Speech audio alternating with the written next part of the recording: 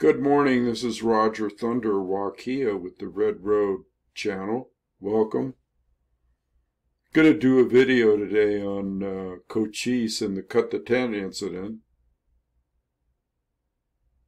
But before I do that, I just want to welcome the new subscribers. Uh, seems to be an influx and also uh, more views, and so always happy to see that. I'm just the storyteller here, uh, wisdom keeper storyteller, passing on intel and information about the Old West and uh, trying to do that in a pictorial sense instead of just telling the story. Still juggling around and trying to get all that stuff in order, so you'll just have to bear with me. So let's just jump right into uh, the video and then I'll talk more later about other things, like the channel and that type of thing. This is Cochise. This is what this story is about. Cochise and the Apache people and uh, how the wars all started with the uh, Bluecoats. How it all kind of kicked off and got inflamed or exaggerated or led into disproportionate uh, dis disproportionate reality. Cochise, there are no known pictures of him, just like there are no pictures of Crazy Horse. But he was a very he cut a fine figure. Let's put it uh, that way. One of the one of the agents at uh, Apache Pass, Tellus, I believe his name was, was an acquaintance of Cochise because he used to come in there all the time. He camped out nearby, and uh, his description of Cochise was just quite quite the uh, quite the figure, quite quite the specimen of a of, a, true warrior and and uh, good looking and uh, good in stature. Now his name Cochise came from Kochi, I think, or Cheese might have been another uh, pronunciation or another form of the name Cochise, which meant the nose and that's because he had kind of a Romanesque nose. But still a good looking man all the way around, a handsome individual. And he was uh, born in 1810 to the Chohokin tribe, or band, I should say, the Chohokin. And when you look at things like this, you have to realize that bands were parts of tribes or parts of people like the Chiricahua people. And there could be several bands. There could be the Bedonkohe, which Goyakle, the uh, Geronimo came from, and Chiene, and so there were different bands that uh, were encompassed in uh, the tribes as a whole it can all get rather confusing. So here you have the supreme uh, chief of and well known of that time and in history of the uh, Apache people, or let's say the Chiricahua people. And that this again is what this incident is based on. The cut the tent incident and that occurred around this area, Apache Pass. Let me let me do a uh, quick shot of uh, that area.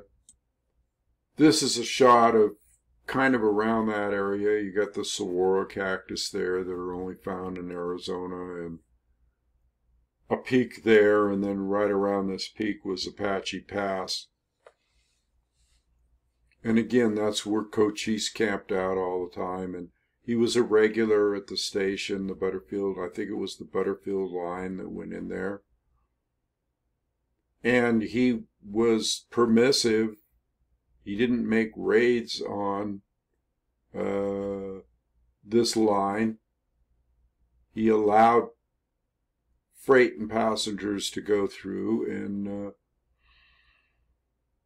had a pretty good relationship with the station master there, although they often got into arguments because, uh, well, let's face it, uh, Cochise didn't like the incursion of the white man and or the white eyes as they were called. And so there were heated conversations but basically they generally got along. But everything erupted out of this area here. The famous apache pass. Now the station there was pretty cool. It was an adobe station. And had all kinds of rooms and uh, amenities and uh, places for like say the stage people uh, the passengers on the stagecoach to eat things like that. Here's kind of a shot of a stagecoach of that area butterfield stage line just to give you an idea just to give you kind of like let you you know indicating the ambiance so to speak of uh, that whole situation Here's another archival photo uh, that shows probably that same area. It looks like that same area where they're coming in and uh, on the stage, the passengers on top and uh, inside as well. Just to give you an idea of the whole situation uh, back then. So basically, uh, let's get back to the cut the tent incident. Uh, what happened was Cochise got this message, and this is another rendering of Cochise. Another painting. Looks like he's holding a uh, Henry repeating rifle or a Winchester. Cochise got a message, uh, I guess my if my memory serves me uh, correct, it came through this agent that was the uh, caretaker or the the head honcho of this uh, stage uh, station, stage manager, got a letter off or uh, you know uh, some kind of communication off to Cochise that he was to come in and talk to the, the, the Bluecoats wanted to have a meeting with him, an amiable meeting, a powwow, that type of thing. Now, I don't know if Cochise really actually knew what the incident was that they wanted to talk about, but it was surrounding Mickey Free, which I mentioned in an earlier video, who was a scout. Let me go and show you a picture of Mick, Mickey Free. This is a picture of Mickey Free. Second from the right here, this individual. Right there.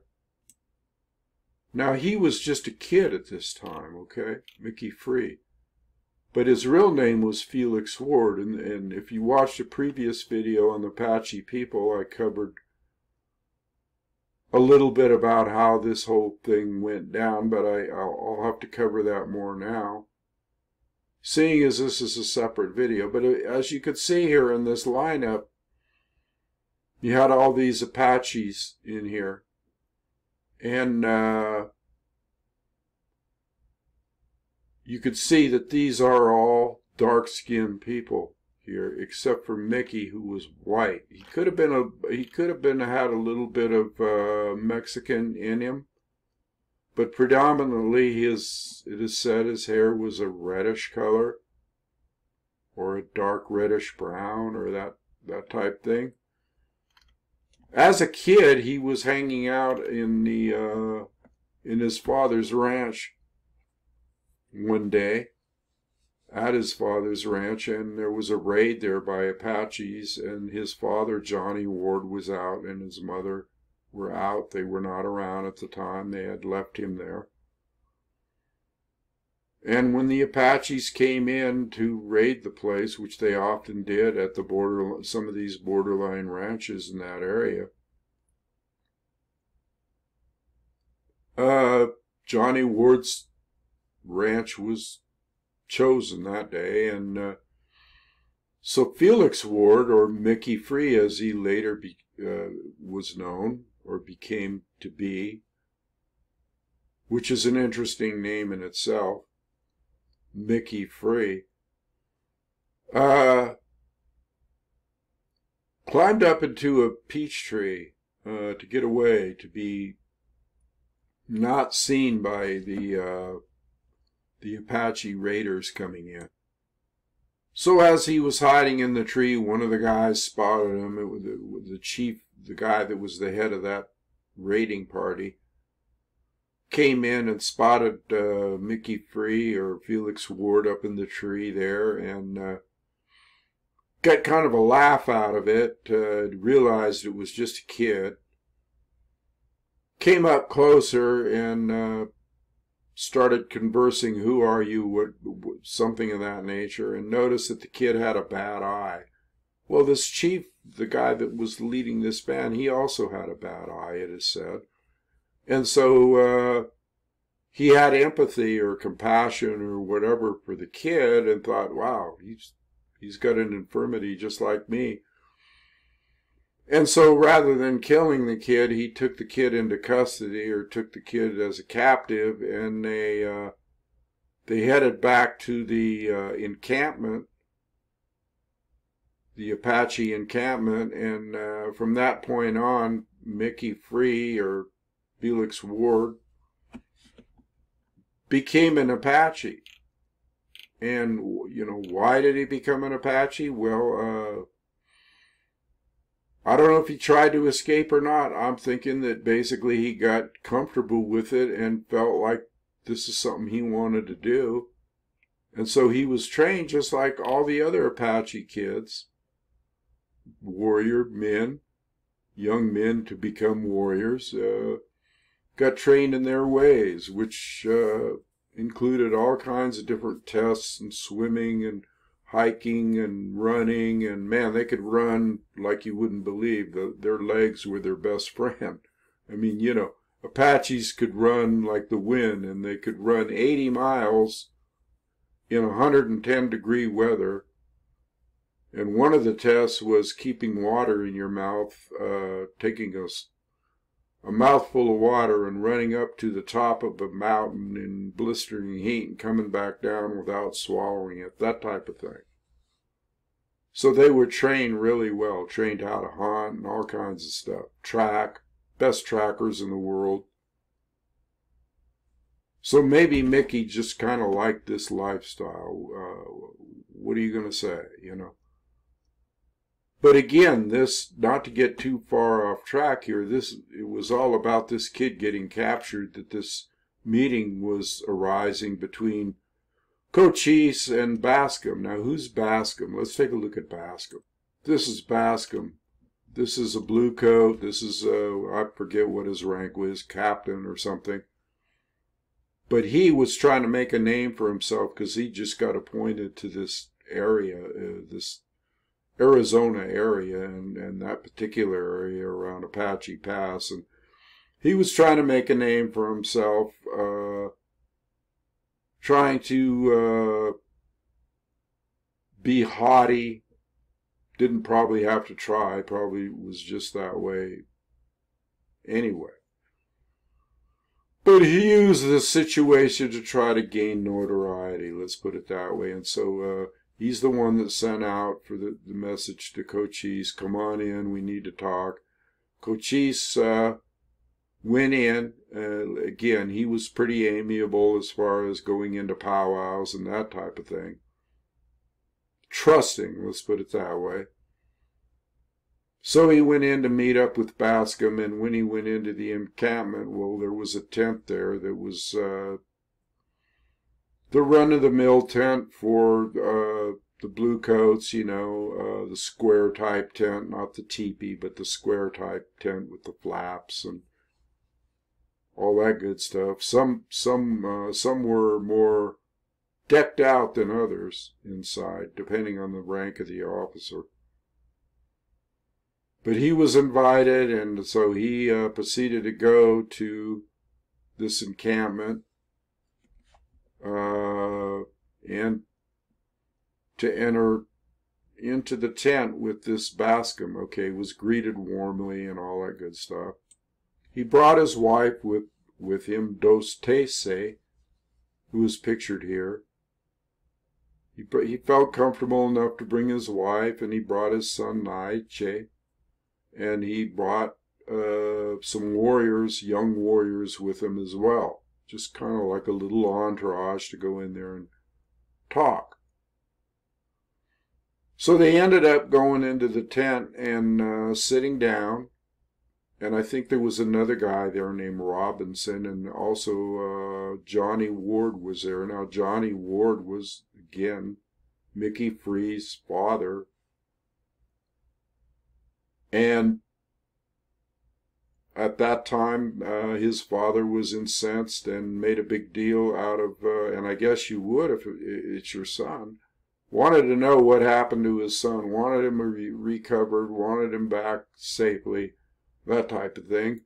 you can't blame him.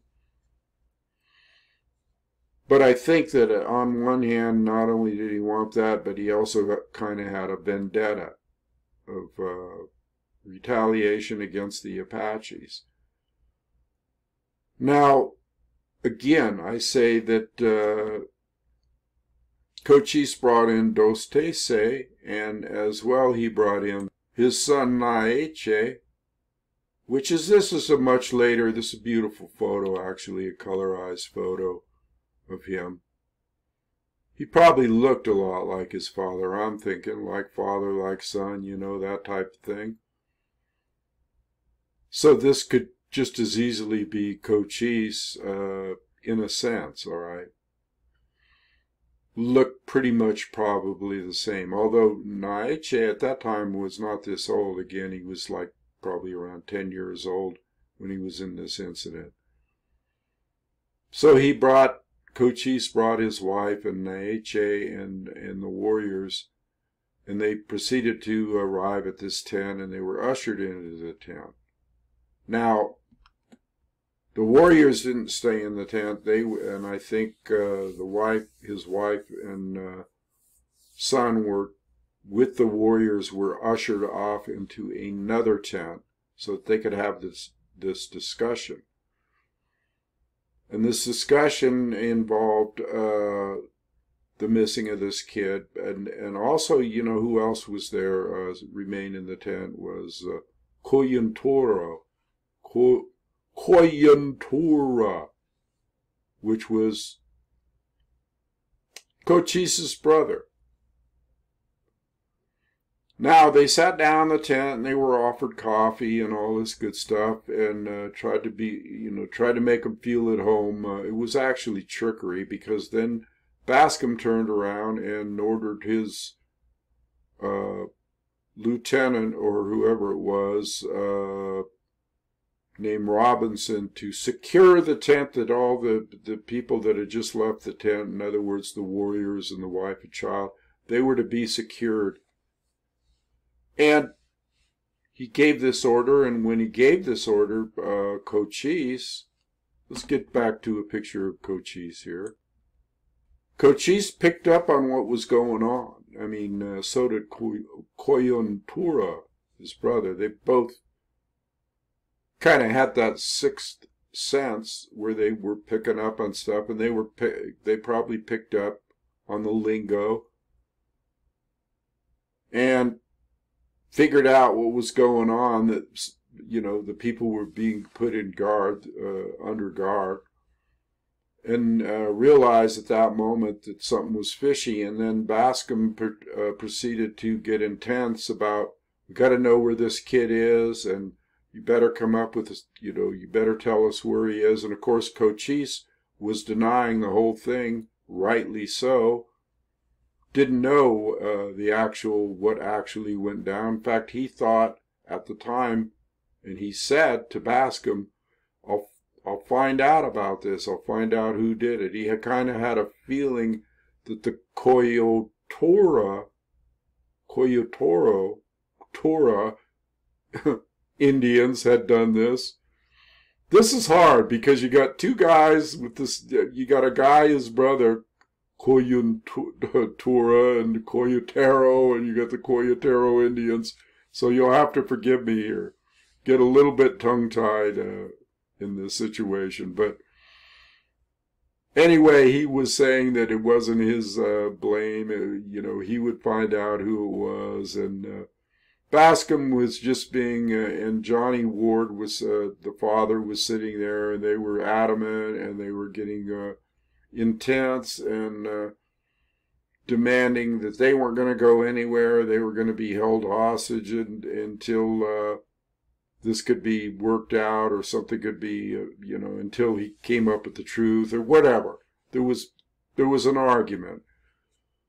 So Cochise, being the supreme warrior that he is, slipped his knife out from wherever it was, his sheath or wherever, turned around and to one wall of the tent and stuck his knife in and slit it and uh, cut it, thus cut the tent episode.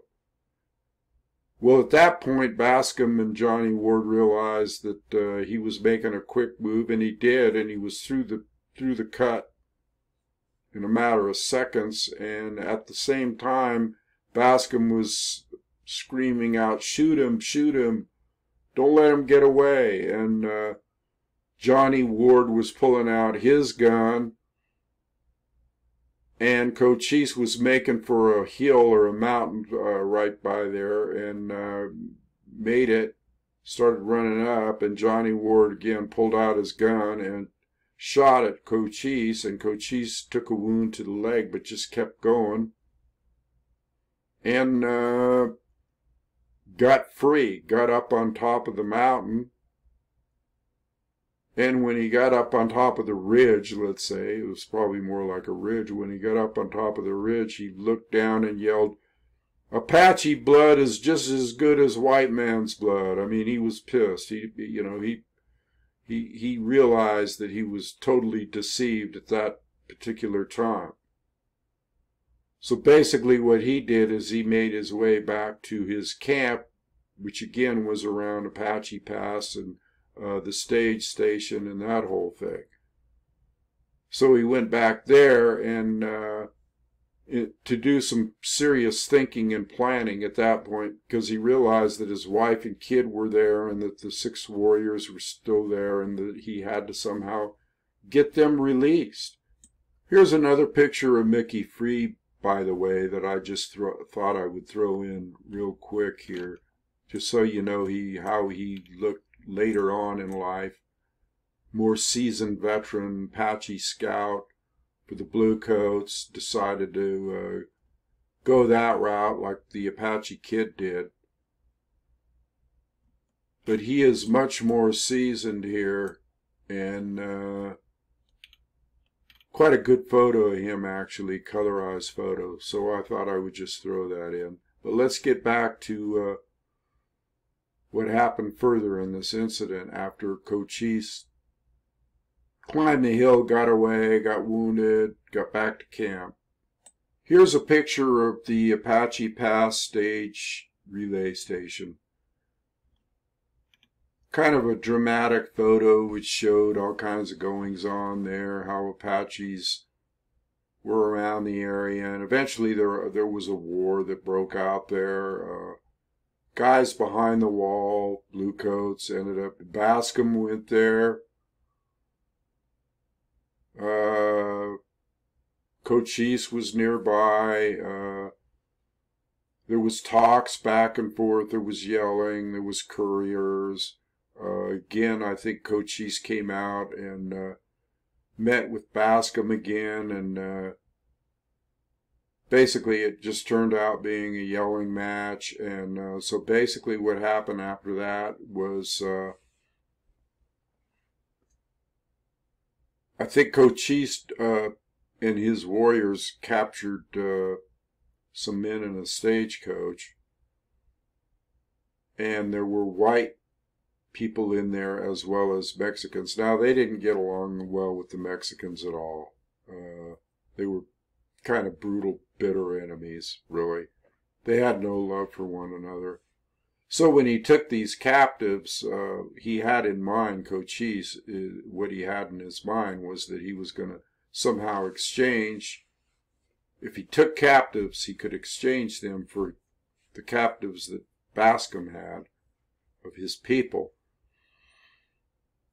And when he took these people captive, uh, he took them out of the coach, of course, and uh, what he did at that point was, in order to drive the point home that he was serious, he took the Mexican guys out and tied them to the wheels of the stagecoach and burnt them alive.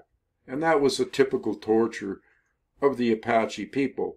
They had all kind had divided uh, devised all kinds of ways to get back at the white men. Why? Because Cochise's father, and there was just a whole history uh, that was started actually by the White Eyes. All right, the White Eyes were the ones that uh, made incursions. The miners, the White Eyes, all these people, the Bluecoats, are the ones that came in and started doing things like scalping and uh, they did horrible atrocities, uh, dismembered people, cut people's heads off, uh, did all kinds of things to the Apache people. So when you're, you know, if you if you're uh, taken back by the fact that Apaches tortured people, uh, they just did it. They just uh, looked at the white man as an example. And I I saw an interview once with an Apache man, a descendant uh, it was either Geronimo or one of the other uh, legends of that time. I saw uh, an interview. And basically, what he said was that, hey, you know, they started the torturing and they started the scalping and they started uh, doing all these atrocities. So we just decided we're going to do it better. And they did. And what happened was, is they devised all kinds of ways. Another another thing they did, uh, you know, uh, was hang people upside down from a tree, a tree limb or something, and start a uh, tie their hands behind their back and start a fire underneath their head. Yeah, I know. Pretty bad, huh? But this was just a culmination of uh, both sides doing atrocities. All right. So basically, what the Apache was doing was fighting fire with fire. No pun intended here, since we've got one going on the screen. but that's what they did. And so they didn't kill the white captives of the stage they captured. They ki- they killed the Mexicans because they really. They didn't they didn't think the white man really cared about Mexicans anyway, but their own kind so they kept these other whites alive so that they could go back and take a courier or a message back to Bascom and say, look, this is what they did. Or they sent a message saying this is what they this is what we did to some of them, and the rest of them are going to have the same fate if you don't let our people go. Well, back at the camp, back at the uh, you know the Bascom uh, camp, uh, the there was discussions about this and whether they were going to let the hostages, the Apache hostages go, the warriors and the wife and son, that type thing. Whether they were going to let them go. Well, now, now this whole incident was coming to the attention of superior officers of Bascom one guy's name was Cook, I believe, C O O K E, and another one, uh, another one was Moore, M O O R E. And these guys, I think Moore was head of the dragoon, uh, the, the dragoon dragoon emplacement, and uh, they were superior officers, so they came in and, and started having heated discussions. Or maybe they weren't so heated. They just had discussions as far like you know what are we going to do? We're go- we're going to have to kill these. We're going to have to hang these apache hostages. And bascom at that point was like ah, i don't know. I don't know if that's the right move. He he wanted to ma- maintain control And so, believe it or not, uh, they sat down in a tent somewhere and pulled out a deck of cards and uh, started playing this game called Seven Up, supposedly. And they played this game, it was almost uh, in a jokingly, joke, you know, a jokingly type way, where they made a game out of whether they were going to kill somebody or not. And uh, I guess Moore, whoever, won out because he was for killing and hanging and uh, getting rid of them and setting an example. And that's exactly what they ended up doing. So they took the Apaches, and I think there were six all in all. I think there was uh, Coyuntura, Coyuntura, that was uh, brother, and then the five other warriors, and they decided they were going to hang him. They took him up on the hill and they hung him and they hung him high because they wanted him to hang there as an example. They hung him real high because they didn't want the animals to get, and they just left him there after they hung him. And, you know, they pleaded, the hostages pleaded, the Apaches, hey, you know, okay, you're going to kill us. They weren't afraid to die, but they didn't particularly want to die being hung. And so they asked to be shot. Well, no, that was bypassed. They were going to get hung because if you you know if you knew an Apache didn't like something, you were going to do it to him. So they hung him up high, and uh, they just let him. Uh, they just let him let them be there for months. I mean, you know, they just basically rotted uh, till they fell to the ground, and then uh, they were washed back into the earth. But all the time this was happening, okay, that you know, when when Cochise finally realized that they were hung and his brother was hung, they were of course incensed. I thought I'd throw this picture here, here towards the end uh, of what it might have been like a painting of the Apaches firing down at the uh, in Apache Pass and uh, even got Goyafwe in this picture and uh, possibly Lozen off to the right. So basically, to sum all this, let's say this story or this portion of the story of the Apache people up, uh, I'll just say this. Uh, let me let me uh, let me get back up here on the screen. I'll just say this that uh, this is what broke everything wide open. This incident and uh, the Bascom affair, the Cut the Tent affair, the Mickey Free affair, however you want to label it. This is what broke everything wide open as far as the battles between the Apache wars in general, the the uh, intensity ramping up that type of thing. These incidents happen all the time, you know. Uh, the Apache basically uh, came came to the conclusion early on that they were going to try to make peace because of the incursion, and they just didn't want to fight so much, and they just want to be left alone, even if it meant living in a certain area or reservation or whatever. Eventually they didn't really want to do that. That wasn't their main goal. Their main goal was just to be left alone and make peace with see if they could coexist and all all of these kind of meetings like the cut the tent meeting and other meetings uh, led to the deception of the you know them being deceived by the white eyes. Incidentally white eyes is a term i don't know if i mentioned this before but white eyes is a term of a, a, descriptive term, not a derogatory term, just meant the whites of the eyes of the Americans or the, the white man were whiter than the Apaches because that was almost like a coffee color. I, I mean, uh, there was a brownish hue to the Apache whites. of their eyes. So that's why they called them the white eyes. That wasn't necessarily, uh, necessarily a derogatory term, just like the long knives with the Lakota people when they said the long knives was just a descriptive term. Wasn't any kind of racist term or anything like that that might people might think.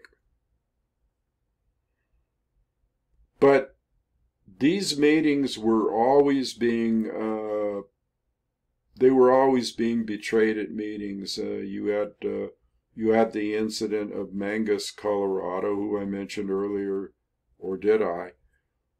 Was the father-in-law of Cochise, and um, he came to a bad end as well uh, with his trusting attitude towards uh, trying to make peace and trying to meet with the white man.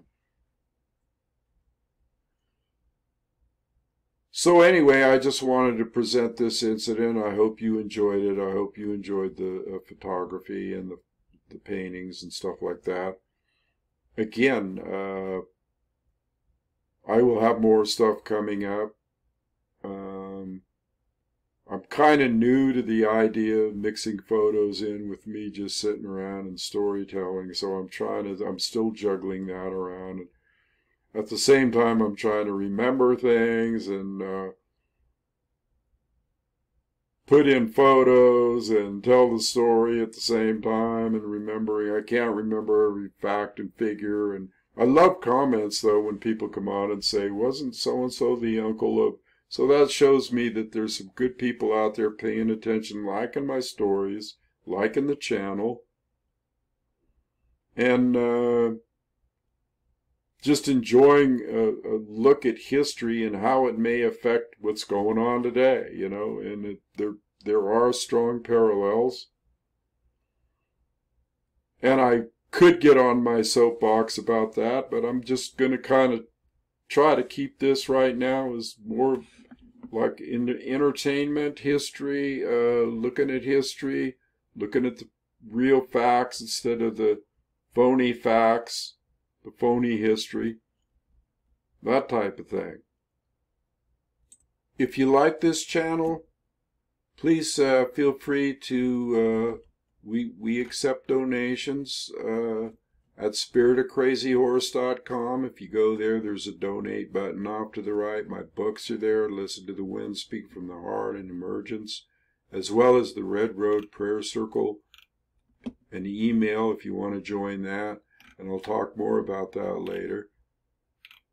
But really do appreciate support in any way you can give it. Uh, thumbs up, uh, subscription, all that good stuff. Seems to be like there's an increase in subscribers now and uh, more views, and uh, people are liking this kind of thing. So if you like it, I like it.